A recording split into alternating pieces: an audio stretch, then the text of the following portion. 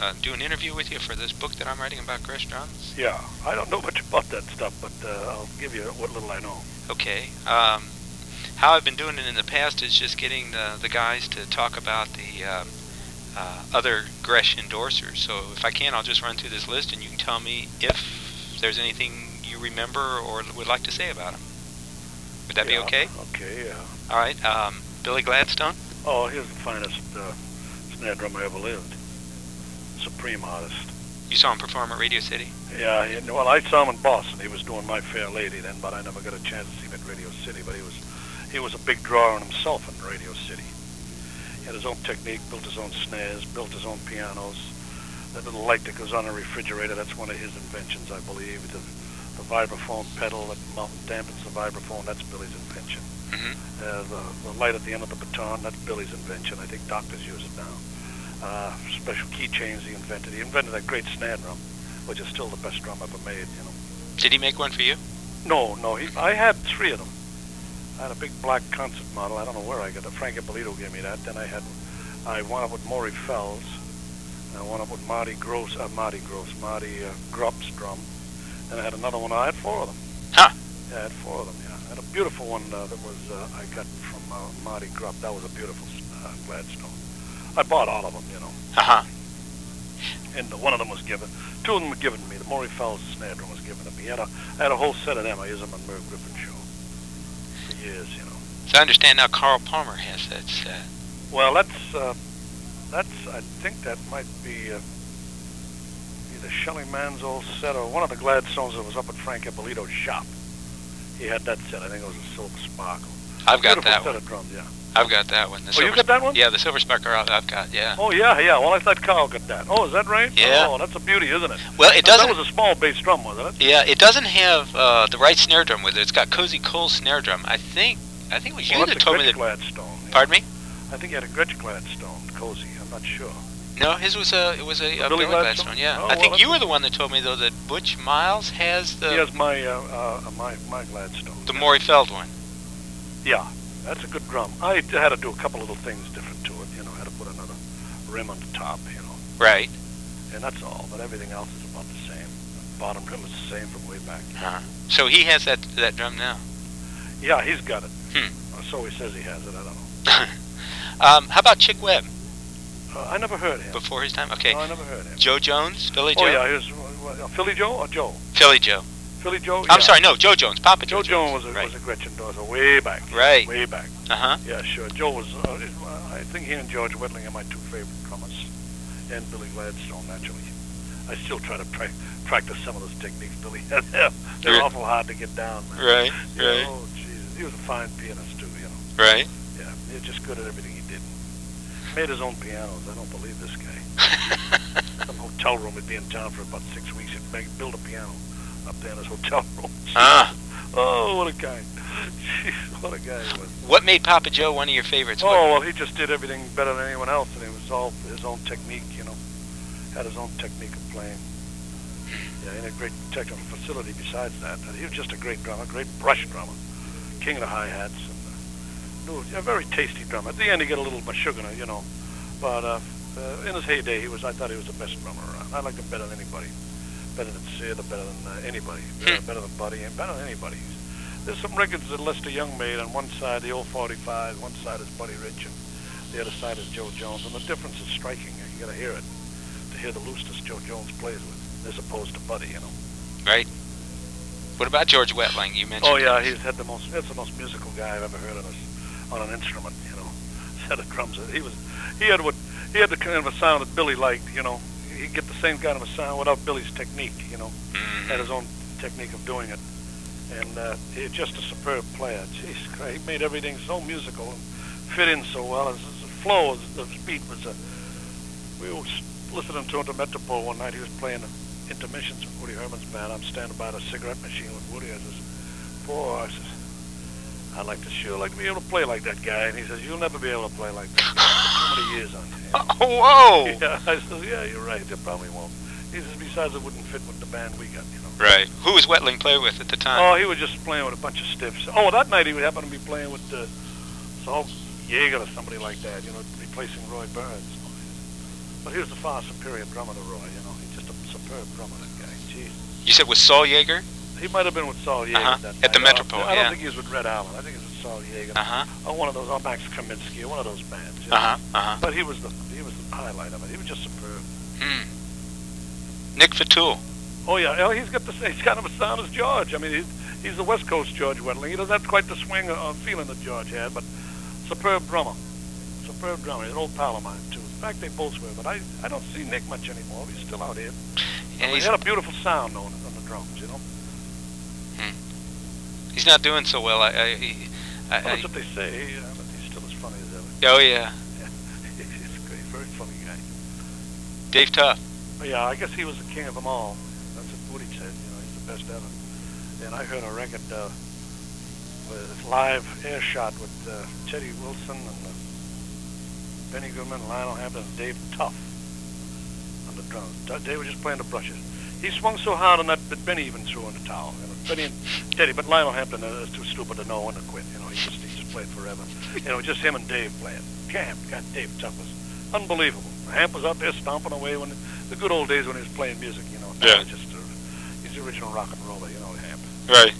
But uh, geez, that Dave Tough, what a fucking drummer. Just playing the brushes, man. Mm. Hard swing. Mm. Oh, great drummer. Great drummer. I don't know if you'll recognize this name, but Alberto Cauldron. He played with No. Xavier Cugat. Kuga. No, with, with, with Coogie? Yeah. Yeah, no, I, I Okay. knew some guys at Coogie, but uh, uh, not him. Shelly Manne. Oh yeah, terrific drummer. Yeah, he's one of Billy's ace boys. Yeah, Hmm. Billy's ace boy. Got a nice sound out of the instrument too. A very sound conscious drummer, you know. Very sound conscious drummer. Perfectly steady time. I don't think he ever rushed or dragged in his life. he never rushed away. I don't think he ever rushed or dragged in his life. Yeah, man. yeah, yeah. He's in his own way of doing things too, you know. Remember, he had to compete against Buddy Rich and Max Roach. They were the two kings of the drums during that particular time, and he he come up, come up with his own way of playing. Huh. One of the most original drummers in history. Huh. Always was. Very good thing. Very good brain, that guy. and a very, very nice guy. Dick Shanahan. Yeah, he's still playing. He still sounds terrific, too. Geez, he sounds real good. He's a good drummer. Good swing, swinging drummer, man, you know. Gets a good sound. Just a good drummer. Solid. Solid player. Very good time. Very good feeling. Kenny Clarke. Klook. Yeah, he's uh, one of my idols. Yeah. That's who I pattern my uh, style of uh, time playing after, is Kenny Clarke. How would you categorize it? Uh, well, Whitney Balliett calls it an airborne propelling beat. That's what he calls it. Who It- said that? Whitney Balliett. and I'll tell you, it's, uh, Kenny Clarke's got a great cymbal beat. And the record you should listen to for him is uh, the uh, Miles Davis, earlier Miles Davis stuff of, uh, with uh, Kenny and Percy stuff that was recorded by that real good engineer in New York, uh, up, up uh, out of the city a little bit. What the hell was this guy's name? He's an excellent engineer. He's the guy that brought the drums and the bass so you could actually hear them on a record, you know. Huh? And Kenny's brush playing was very good on some of those things too. Yeah, that was Dizzy's guy. I think that was really Dizzy's favorite drummer over Sid. I think he liked him best. Right. You don't remember this engineer's names. He was really the one that Yeah, brought Rudy Van Gelder. That's the name. Rudy Van Gelder. V A N G E L D A Uh, ER. Van Gelder. E R. Oh, okay. Yeah, okay. Gelder. Huh. So he was the first one to put the drums. When you can really hear the Ah. uh, hear the, uh, the drummer and the bass player right together with that real beautiful beat they had. Percy Heath and him had a great beat. Uh huh. And uh, geez, it sounds great. If you just hear those records, they're great, but not for me with Miles Davis, those records, Sonny Rollins, Airegin, and then the uh, uh, Walking with uh, say Percy and Kenny, and I think it was uh, Horace Silver on the piano there, Uh huh. or Monk, or one of those guys. Uh huh. But they just Kenny Clarke sounds just great on those things. Just great. Hell of a nice guy too. What was his fix on on Paris? What, what, From Paris. yeah. Why, why was he He so taken? left the country. I don't know whether he had to leave the country or didn't have to leave the country, but he went over there and he and he owned Paris, he owned France. Yeah. Yeah. He's the top guy in Europe. Yeah. He is. Huh. And well, he should be, you know. Yeah. Never got his due here though, unfortunately. Uh, well, he did. He was the, one of the one of the pioneers, but I must have something must have happened. We had, we had to leave town or something. you know, I can't imagine leaving then because things were going pretty good then. He had all the record dates sewn up, and he was the number one guy. You know. right.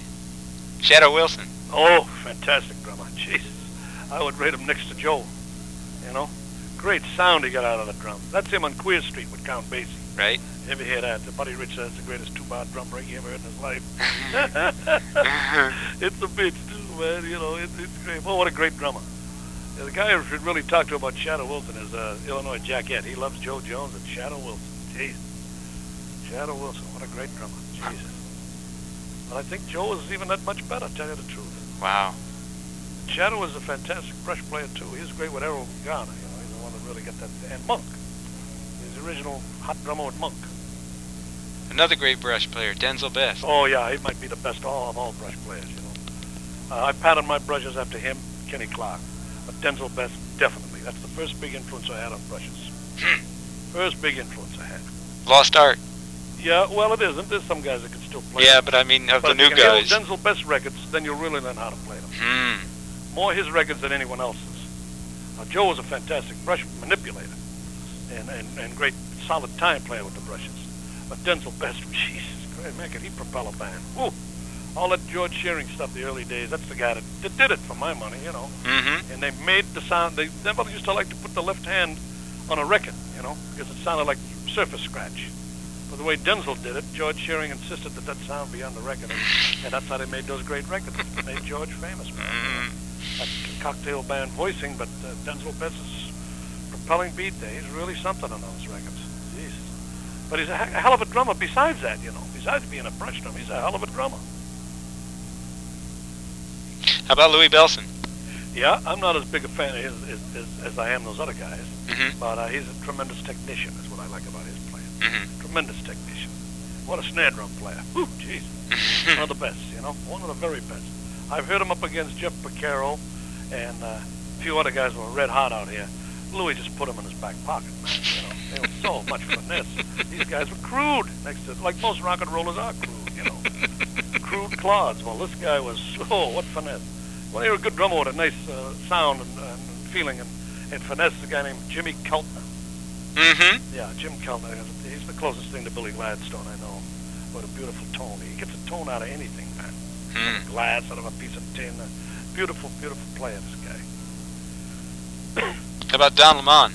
Oh, Don Lamond, greatest big band drummer ever lived. And those aren't my words. Those are Buddy Rich's words.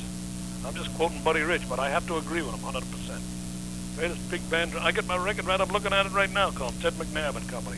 Play that every day, and I still can't figure out what he's doing, and it's still dynamic. You know, What is it, Ted what? Ted McNabb and Company. If you can, I, it cost me 110 dollars for the album. Spell the last name. M.C. uh, M C N A B B. Ted McNabb and Company. What did he Ted play? McNabb is uh, is a guy who worked for uh, Bell Packard, Ah. Alan Howell Packard, you know. Ah. And uh, he loved jazz, amateur tenor player.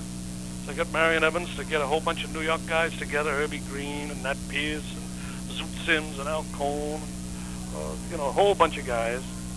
And uh, Don Lamond, Bill Hinton, and a slew of guys, and they made put a whole bunch of arrangements of standards together, and uh, put it out under his name as a private. It wasn't for the market. It wasn't for the open market. Hmm. Private recordings. So you, you can pick them up. You can find them. Don Lamond. But then you get the Don Lamond stuff he made in the 40s with Woody Herman. It, was the, it changed drumming all around. It just changed, put it off in a new direction. Even Buddy Rich changed his whole style after Don Lamond come on. you know, you can hear Buddy on uh, karaoke with Les Brown in the 40s, you know, and you swear it's Don Lamond. I, I didn't know it was Buddy Rich, I'll tell you that. Hmm. It's one of Buddy's greatest records, you know. Hmm. But he's with Les Brown in that one, you know. Right. Karaoke, that's Buddy Rich, and, that, and he sounded like Don Lamond in there, you know. That's sensational. Mel Lewis. Yeah, I'm not a big fan of Mel Lewis. They used to put me to sleep, tell you the truth. Hmm. Yeah, I know most guys would shoot me if I hearing that. But that's No. okay. You can print it. Don't worry about That's it. the way I like it, though. I- You know, I don't want it Uh, all. he- he- I thought it was very lazy sounding. Hmm. A lot of guys call it looseness. I didn't call it looseness. I got a feeling it was always slowing down. But uh, I like that pepper in a, in a drummer, you know. Mm-hmm. Kenny Clarke, Philly Joe Jones. Mhm. yeah, those guys knocked me. Philly Joe Jones, a great drummer. Let's talk about him. Yeah, oh, he was a great drummer. Yeah, very, very, very funny guy too. Jeez, I first heard him when he joined Miles in Boston. He, he was with him a little while, and they just had Joe Jones. Name was Joe. I thought it was Joe Jones, but it was down. It was this strange guy. You know. Two bongos, snare drum, top tom, and a, and, uh, a floor tom rather, and a, and a snare drum and a bass drum. Two cymbals and a hi hat, and he just played the hell out of the drums. Jesus Christ, what a great drummer! Never heard anything like that. And then they had Red Garland, and it was John Coltrane's opening night with the group. Sonny Rollins' name was still on the sign, you know. Mhm. So Coltrane was playing that crazy style he eventually came up with, you know. He just out there swinging, solid player, you know. And a little more to my uh, cup of tea, you know. Mhm. But Philly Joe Jones was definitely the, the guy in that band, and that piano player was great. Red Garland, he was swinging. And Miles played pretty good, you know, he played good.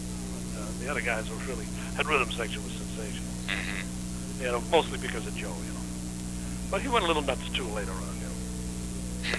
But he was sensational then. He ruled the roost in those days. Maybe that's why Kenny Clarke left for uh, Europe. really, you know. Philly Joe Jones just taking over all the record dates. Uh. Huh. How about Art Blakey? Yeah, a sensational drummer. Night at Birdland, I think, is his height. From the Night at Birdland album, Uh huh. I think that's the height, his height of his playing. Just sensational. But I went down there and heard him uh, with Buddy Rich, opposite Buddy Rich, and uh, uh, you suffer when you play next to Buddy Rich. Buddy was so spectacular. I mean, the art just, you know, nothing he could do. You just do your job, that's it. Right. But he was out there trying to cut him, you know, you know, Art, trying to cut Buddy doing this. Christ. Buddy went right from his drum set over to Art's drum set and played. It sounded better, you know. Oh, that's man. what Buddy Rich was. You know, just swap drum sets, uh, swap drum sets in the middle of a solo. Put on, Jeez. finished up on Art stuff and made the drum set sound fantastic. Jesus, Christ, what a drummer he was. What blew me away about him is I, I saw him just before he died, and Christ, he still had the same technique as when yeah, I saw him back in the '60s. sensational. Yeah. Me too. I saw him right before he. Uh, How could he do that at that I don't age? know. That's him. You know, that's him. He was way overweight. He looked like he was ready to die then, and, Yeah. and he would just go around that set like, Oof. Oh, he was unbelievable. yeah. Yeah, well, he was just going back. He was uh, retrenching. I think he was going back to what he used to did with Tommy because uh, he got a big, nice set of drums he had with Tommy Dorsey. Right. The same style. Right. He was happy as a lark. The only thing was they brought the electric bass in. You could, and even though the guys get so loud, they're drowning Buddy out. you know. Yeah. Yeah. Buddy's pounding harder. That's what probably helped put him in his early grades. He's pounding harder. Yeah. Yeah. Why don't you just tell that guy to shut that thing off and play like he used to? Really, get an Oh, acoustic I like bass. a loud bass. I like a loud bass. Yeah, get an acoustic. Oh. Yeah. And last night we played a job, and uh, geez, the, the, the two wires the guy had to went into the bass, neither one of them worked. You know, they got another set, and it kept buzzing. And so he just pulled them out. He says, "Let me just try this like this." And it was acoustic all night. And it was so beautiful. Bill Berry just took the mic and threw it away. He just played acoustic. Mm. And we pulled the mic off the piano. We just played. It was Mm. beautiful. Oh, we played the sound we used to get in the 40s. Yeah. It was so easy to play, and people loved it, the few that were there, you know. But, geez, it was, it was a ball, you know. And some guy came in and sang, used the mic, and it threw everything off. You know, we started, we couldn't get our balance back. The minute he stopped, we were fine, you know. but acoustic music, nothing like it. But it's got to be played in small places, you know, where the people can hear. You can't, Right. can't go outdoors and No. not hear anything out there. That's the silliest things I ever saw in my life, trying to make me play music outdoors. And Yeah. Huge arenas and all that. It's not for music. It's for boxing and hockey and football and shit like that. And uh, we get these rock bands out there. Well, that's what they should be. Like. They should be like out there. Right. Yeah. Right. About Roy Hart? Yeah, you can have him. Yeah. Yeah. yeah. Chuck Flores. Uh, he's a good drummer, especially with Woody. I think his best days were. That's right. He played Gretsch, Chuck. I think he did. Yeah, he did. Yeah. Yeah. Sam. Oh, fuck him. He's an asshole. He's a fucking idiot. So's Roy Hart. Put that in there, too. Jesus Christ. Cheap, cheap prick. Who was it? Uh, Elvin Jones said. Uh, he's a funny man. yeah, he says uh, when I said when I said Sam Ulano, he says, "Oh, the Book of the Month Club." Yeah, Book of the Month. The Book of the Month by the Bum of the Month. Jeez. Oh, this Book of the Month. That's funny. Ah, that's good. El- Elvino Radio. Elvino Radio. Ah. He had a lot of good things to say about you. Yeah, well, he's a great fucking guy, man. I love that guy. Jeez. Let's talk about him. I just Yeah. interviewed him last weekend. Oh, did you? Yeah. Yeah. Oh, I think he's as crazy as the day is long. oh, I like him. I was a big fan of his brother, the trumpet player, but his other brother is just a great Wills, my, one of my favorite people of all time. Henry, you know. Yeah, Henry. Uh, Yeah. Elvin is a great cat too, man. I'm sorry, he's just a warm guy, man. Yeah, he is. He's a beautiful human being. And a very funny cat. Jesus, what a funny man. Uh, somebody told me he laid Gerry Mulligan out one time. They had to carry Gerry out of the bus. He knocked him cold. That's what somebody told me. Yeah. I don't know if it's true. It might be true too. Man. I know an Elvin. It probably is. He's a very abrupt guy. You don't. You can't fuck with him. You know. And I don't know why anybody would want him. You know. I know he's such a sweetheart. Yeah, oh no, he's a nice guy. You know how Gerry's always telling everybody how to play. So Oh, really? you don't tell that to Alvin. He plays his own way. Yeah. You're doing this wrong. He ain't doing anything wrong because it comes out right. So how can he be doing it wrong? Yeah. You know, tell Rocky Marciano telling Rocky Marciano he doesn't know how to fight. You're not doing this right, Rocky. You're just, you're just counting. They're counting you out. You know. yeah, right. You know? he's unorthodox, but so it works. Didn't nobody ever beat him. You know. Yeah. Yeah, yeah. Hell of a sense of time. Who's that? Elvin. Oh. Elvin. Oh, yeah, he does. Yeah, very unique player. You know, very unique. He's the only guy that really plays like that. There's a million guys trying to copy it. They just don't pull it off. Just don't pull it off at all. Got a lot of straight ahead energy.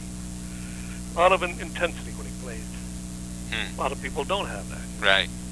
And he still I don't has play anything like him because because I don't.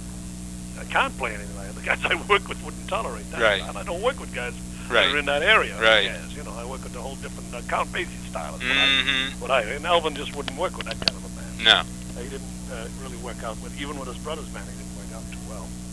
And, uh, Now, which one? Thad or Henry? Yeah, Thad. Thad, yeah. Yeah, no, he works fine with, with Hank. No, Mhm. they, they they play fine together. Mm-hmm. Yeah, no, they're, they're fine. They're excellent. Yeah, he sure is a nice guy. I love the guy. He's, he's, and he's got a nice wife that helps sets up the drums. Yeah, Who she does. else make that claim? Yeah. You know? Yeah. Yeah, most most wives are trying to sell them. Like, yeah, yeah, oh yeah, yeah, right. You know, guy said, uh, guy uh, talking to Buddy Rich one time, says, you know, Buddy, says, you've been back with Slingerland. You're responsible for the sale of more drum sets than any guy ever because I know I sold mine after I heard you play. you always like, always like. Uh, Great line. I love that one. Yeah, it's an old one, but it works with him. I love that. As long as you don't try to pull a joke on him, it's okay. know. Yeah, yeah, yeah. He, he'll laugh at anything as long as it ain't at him. You know. Gee. he was a nice cat too. Yeah, after when after he said Sam Ulano was book of the month, he said he when when I got to your name, he says, "Oh, the joke of the month." The joke of the month. Yeah, I got a joke of the month. he said you always just had him in stitches. Yeah, yeah, yeah. Oh, but yeah, he's a funny guy. Yeah. Funny Bill Richmond. Bill Richmond. Yeah, he's uh, still out here, I think. You know, he, he wound up. Uh, well, I heard him with Les years ago, and he did a pretty fair job with Les. Les Brown. Yeah. Jack Sperling was the main guy there back, way back. Uh, but, and Bill came in after Jack, I believe. Jack. Or maybe after Lloyd Morales. I'm not sure. Uh-huh. Yeah, I think Bill. Let me see. No, no. Lloyd followed Bill. Lloyd. fo- Bill was with him about 1954, I think. Is Bill still playing? No, he's. Uh, he was a comedy writer for Jerry Lewis for years. Well, he was a drummer for Jerry Lewis and a comedy writer for Jerry. Huh. Then he had a comedy writer. Then he was a comedy writer for over at CBS. Then he became one of the head comedy writers over there. Then Whitey Mitchell, remember Whitey, the bass player, Red's Mhm. brother? Mm-hmm. He became a comedy writer. He became the head comedy writer over there, and he ran all the shows. And I think Bill wound up working with him or for him or something. I know a couple of those guys were comedy writers, and one of the guys, Bill, uh, I can't think of his last name. I used to be the band boy for Claude Thornhill and those guys. And, Mhm. uh, he was a good comedy writer. Bill Larkin, Bill Larkin, yeah, he was a drummer and a uh, uh, band boy when Irv Cotler was the drummer for for. Um, uh, for Claude Thornhill, you know. He was, but then he'd been in a comedy. Bill Richmond was in comedy. Whitey, all these jazz musicians are comedy writers. Mm-hmm. Jimmy Pratt. Jimmy, gee, I, I don't know that guy, but I sure liked his playing. I got a real good Zoot Sims record with him on there. He sounds great. And I think he'd sort of, sort of throw the towel in on it, to tell you the truth. He made a real nice bass drum muffler Right. for uh, Gretsch. Right. The best one made so far that I've ever seen. Mm-hmm. And I don't see them on the drums anymore. you know. No. And they really should have. They were very good, very good. The Jimmy Jimmy Pratt muffler, yeah. Is he still around, do you know? outside. Don't know, but if he is, he's out here. Somebody said he was down in San Diego. Well, he might be down in that. Well, no, that's Jim Plank. Ah. Jimmy Plank. Ah. Hey, Charlie, get off of that there. I got, I'm reading a Woody Herman book just came out yesterday, and it's, uh, very good. Uh, my cat is on the. It's Flip Phillips' book, and I, I don't want to get the cat to scratch up the cover. on it. Yeah, really. Get Yeah. off the cover there, Charlie. Get off. Okay, How about is on- Charlie Smith? Oh yeah, he's a great drummer. Southpaw. Very good brush drummer, you know. Very good brush drummer. Those things you see with uh, Charlie Parker and Dizzy Gillespie on the TV and all those, that's Charlie on the drums. He's Hmm. Dick Hyman and a, and a local guy, a terrible bass player, but Charlie's wailing away. You can see he was a hell of a cat, hell of a drummer, hell of a character, you know. Hmm. Hell of a character. Very good drummer. Very, very good drummer. He's from up around, I think, Hartford or New Haven or somewhere around that area. Mm-hmm. Sam he Wood, passed away pretty early. He Charlie Smith did. Yeah, yeah. He died quite a few years ago. Huh. Sam Woodyard. Oh yeah, yeah, one of my all-time favorites. Yeah. Oh, I love that guy. Loved him. I used to chauffeur him around out here. Is that a fact? Oh sure. Yeah, we were very good friends. Very good friends. He's. I even subbed for him for Duke for about ten days once when they were trying to find him. they found him. I had to leave. You know, he was a great drummer. And he was out here Scuffling, so Buddy Rich picked him up. And they used two drummers, Buddy and him. And so Buddy had him get a set of drums, and he says, play what you want to play. Just go down to the drum shop, pick him up. So we'd come down, and get the two bass drums, and all the stuff he used to use with Duke. They had two sets of drums up there, and he used to play their things, their battles, and Sam would play with the band, just swinging. And he took him back to New York when he got there. I went up a record date, and there was Sam playing on a conga drum, you know. and Buddy doing a record date. He had a whole bunch of guys on this record date, you know. We happened to be in town, Supersax, and, and he invited me up to see the guy. Joe Romano was there, a few guys I knew, you know. And, uh, Sam was still there, still with the band. But then that's when he was getting off. And he got off and went over to Paris and uh, lived and died over there. Huh. Yeah. Nice guy, very funny guy, very very funny guy. One of the, I think he's the greatest drummer Duke Ellington had. Uh, uh, I don't know. Uh, Sonny Sonny Greer was also pretty sensational with that band. But I think Sam was the guy. You know, Huh. Sam Woodyard was the guy. He could swing. That's for Oh, couldn't he swing? Oh, loved him. Jesus, loved him. Um, Max Roach. Yeah. Oh, yeah. Well, he's the innovator. He's the guy that. My teacher used to say, if anything's going to be anything new is going to be done, Max will do it. he's the guy that started all this stuff. You know, Kenny Clarke was the guy, but mostly in a swinging mode. Max actually took it into the where it is now. You know, the, the bop, the bop was from the '40s in there. He was really great. Uh, of course, when you got that band with Clifford Brown and Sonny Rollins, that that made musical history for my money. hmm That's one of the best bands I ever heard. Max was just sensational in those things. Just sensational. Jesus, what a great drummer. He doing now? I never see this guy anymore. I tried to get him for an interview, and at first he said he'd do it, but he's doing his autobiography, and his oh, publisher. yeah? Yeah, his publisher said that he can't get involved in any of the other books until his his autobiography is published. Yeah. But he says, Chet, he says, he he says, "I- I'm thinking of giving up playing the drums. I said, what? For what? He says, because now all I have to do is walk up on the stage and I get a standing ovation. He says, Yeah. why should I play the fucking drums? just walk around getting ovations. exactly. just walk around getting ovations. God, I, I sure could relate to that. yeah, yeah, yeah. Well, the last time I saw him was at Frank Ippolito's funeral. That's the last time I saw him. Yeah. Yeah. Hmm. That's the last time I saw the guy. He looked terrific, too. Yeah? Yeah. Jimmy Cobb. Yeah, Jimmy's an excellent drummer. I haven't seen him in many years. I, I, maybe I ask you, what the hell's he doing? I, I just I had an interview with him last weekend. What's he he's, saying? he's he's on his tour. He's going over to to Paris.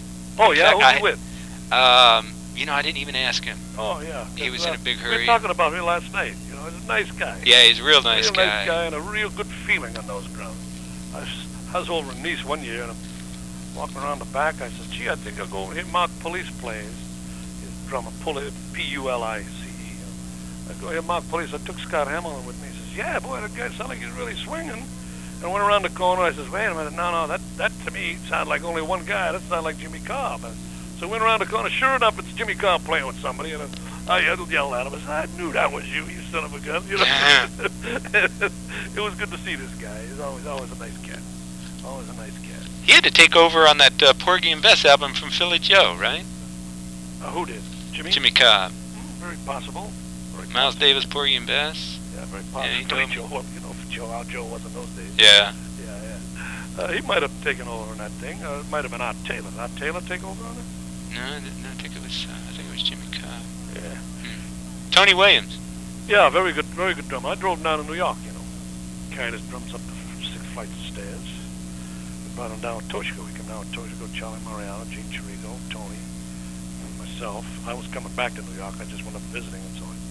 I saw them over at Conley's on the Avenue with their little group, and Tony was the drummer. So they brought him down to join a group, a show called Connection with Jackie McLean, and that's how he got into New York. And it was at Conley's? Conley's was in Boston on, on, Columbus Avenue. Ah. I went in to see the group there. and I said, "What, what are you guys? Uh, what are you doing?" He said, "Well, we got to go to New York uh, tomorrow." I said, "Jesus Christ, give me a ride down there. 'Cause You drop me off at my place." And I lived right up near Tony. Huh. I lived across the street from Miles Davis. Uh-huh. Tony, we brought Tony's drums up to Gene Cherico's place, and Miles Davis gave him a spot in, in his building, somewhere in his, somewhere near his building. He owned a whole big brownstone, you know. And eventually he joined Miles Davis. Right. Yeah. Huh. Chico Hamilton. Yeah, I can't stand him. Personally or musically. But musically, I think he's a shock. I really do. Yeah. I think he's a jiver. Yeah. Just terrible. I don't care if he had a cello in his band or not. The band stunk, and so did he. Jesus, he was awful. We were in Toronto one time. He had a kid lived next door to me, Eric Dolphy, you know, lived next door to me in a hotel. Used to practice that weird bass clarinet. I'd call up the maid every day and I'd try to get some sleep. I had a hangover anyway. And I said, hey, come on up and clean my room. And I'd give him his room number. And so she'd come up, boom, boom, boom, with the vacuum cleaner going. He'd leave. I'd get a little, I'd, rather hear the vacuum. But we, he was working a town tavern with this jive group, and was, oh, God. Jeez. Call Jimmy Hall about him. Boy, he'll tell you some hilarious stories. Jesus Christ. God damn it. Jimmy you couldn't believe this guy. Oh, great. Yeah, I could get nothing out of him. Huh. Really nothing. Charlie Perry. Yeah, Charlie's a very good drummer. Very good drummer. An excellent teacher.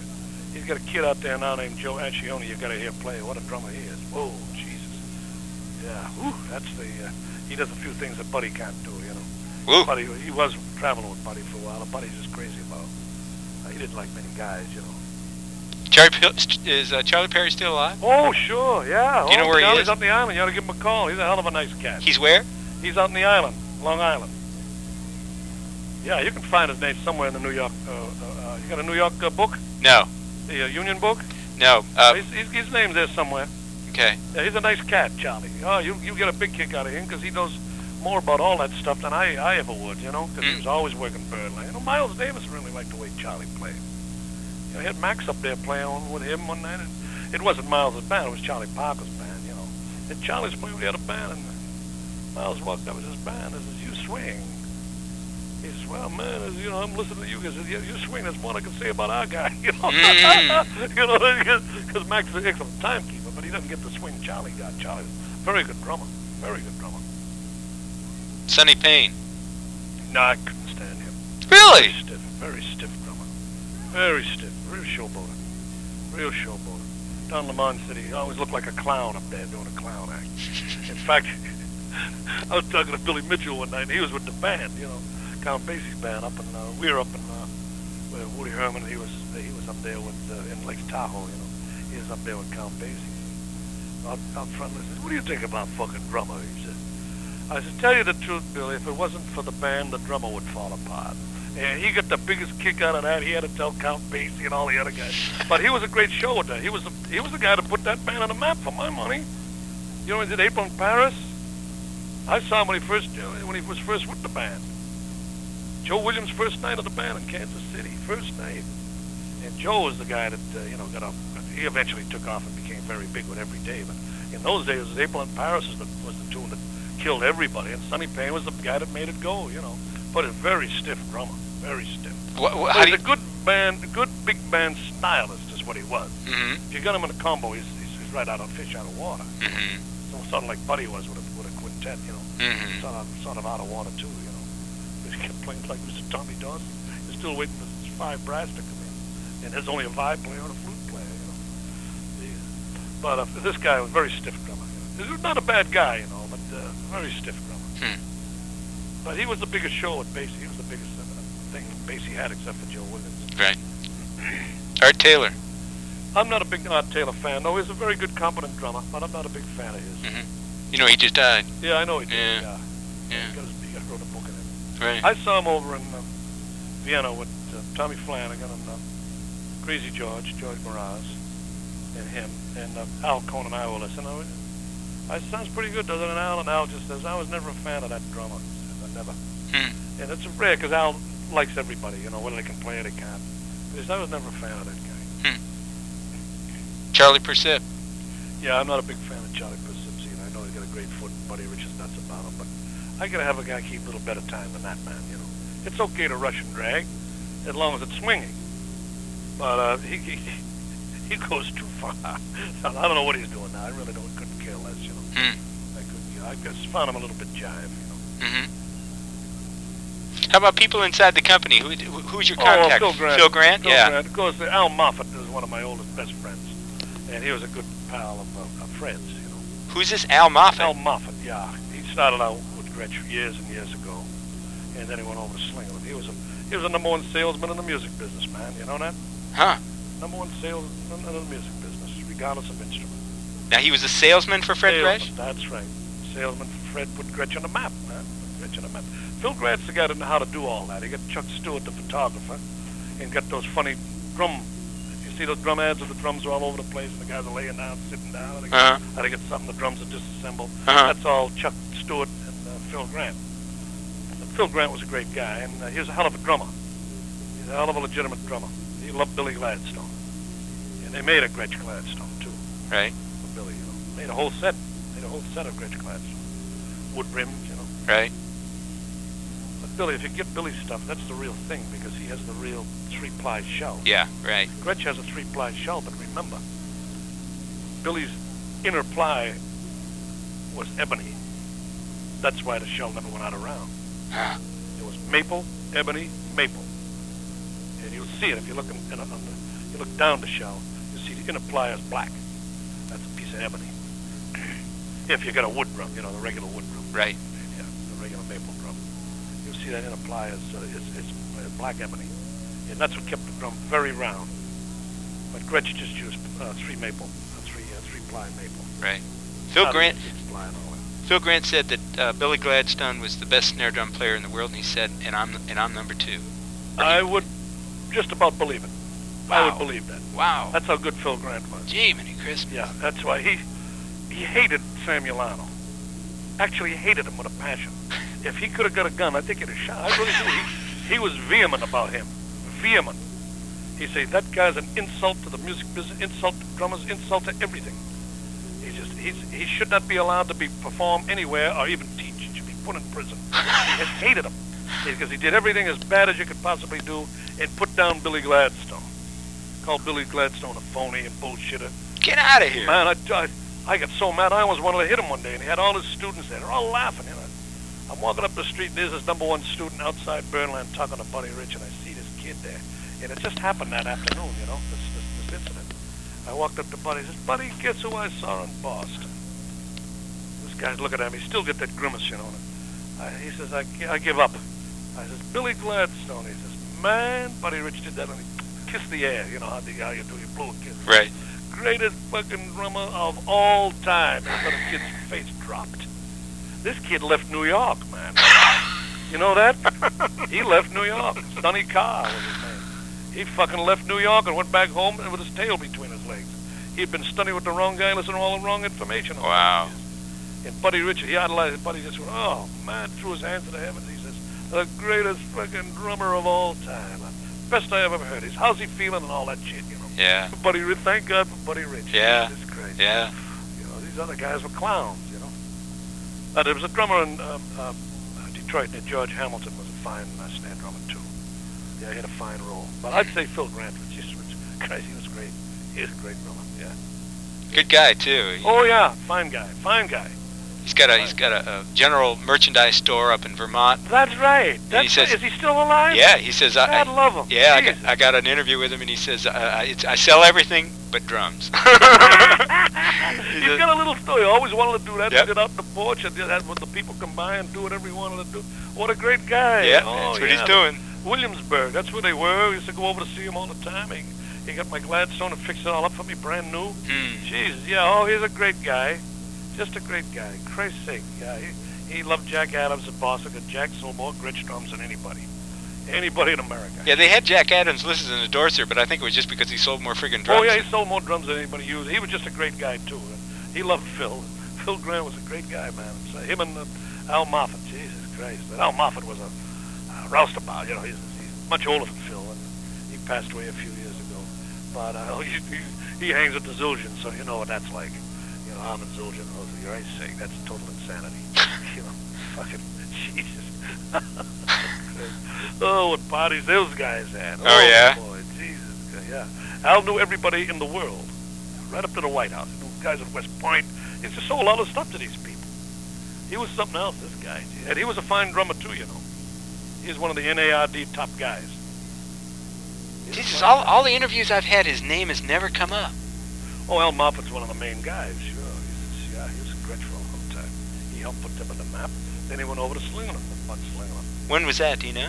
Do you remember? Oh, let me see. I was a Gretsch player for years, and I went over from there. Oh, Phil got mad as a hornet at me because Al says, how would you like to play Slingerland? I says, I, I'm very satisfied with it. He says, I'll get you everything for that. Let me call this guy. And so he had Don Osborne was there, who happened to be a fan of mine, you know. Mhm. And uh, Christ, and he pushed me hard. Don Osborne pushed me pretty good. And so they did a lot more for me than uh, than Gretsch ever did, you know. They were a New York area company, see. They wanted Birdland. You had to work Birdland for them. Right. You get at Birdland, do a night at Birdland, they'd give you the ads. But not Slingerland. They had uh, a little more, little more leeway. Mhm. I brought a couple of people over there, but Al Moffat got me there. Great guy, Al. How'd you get with Gretsch? How did how did? Oh, Jack Adams, you know. Yeah. Guys, Jack, you got to try these. They're great. They, they made good stuff then too. But uh, you know, later on, uh, when I was with Marian McPartland, they plastic heads came in. They uh, they wouldn't fit. The regular plastic heads wouldn't fit a Gretsch drum with the pearl on it. And a lot of people had a lot of complaints about them. Used to try to hammer them out, put wax on them, try everything to get them to fit. The pearl, just that little ply of pearl, was a little too made the drum a little too wide for the for the for the plastic. Hmm. So what they did was take it off and started finishing them off in wood Right. in a beautiful finish. And they were the first guys to make that piano finish. Right. And and it really turned out to be a blessing in disguise. They get rid of the pearls and started putting out the wood wood drums, and they were beautiful, Mhm. just beautiful. But they couldn't, they wouldn't change their uh, those big fat things there, those big round molds they had. They wouldn't change them, you know. So that's how that went. Hmm. But they made a beautiful finish, like a piano finish. Just one of the best looking drums, you know. I could never get their snare drums to play well. Me neither, me neither. Tom sound great. Bass Yeah, drums are ton great. of bass were great, but I could never get the snare drums to sound good. never. The old ones were better. Right. The ones that Dave Tough and those guys play with. That, in fact, saw those uh, those lugs were the best looking lugs ever made for any drum set, for my money. Yeah, the old broadcasters. Yeah, yeah. Weren't they beautiful? Yeah. Jesus, like a diamond lug, you know. You're right. It's great. They were the best. And the snare drums are very good. Very good indeed. But there's still the top snare wood snare drummers, the Slingerland Radio King. Mhm. They still made the best, you know. Mhm. I still get one from 1937. It's, it's great. Everybody loves it. Everybody loves that drum. Nice calf head on there. It won't play with a plastic head though. This drum, Hmm. Because it's a cut down model. See, Mhm. so they only made a six and a half in those days, and this is a five, cut down a Dave Tough size. You know. Mhm. And when the guy, when Frank Ippolito cut it down, he didn't bother to cut it down even, so because the plastic heads seat themselves. You know, I mean the calf heads seat themselves. Right. When they put a plastic head, they do not seat themselves. They're No. it sounded like a piece of tin on there. I couldn't get it to sound right. I took it to a drum shop. Bob Eggers now put it on this thing in a sand. They sanded everything, and it came out pretty even. And now uh, uh, uh, plastic works good in the bottom, but I still use a calf on the top. It's a beautiful tone. Hmm. And the old brass hoops, you know, nickel-plated brass hoops, Right.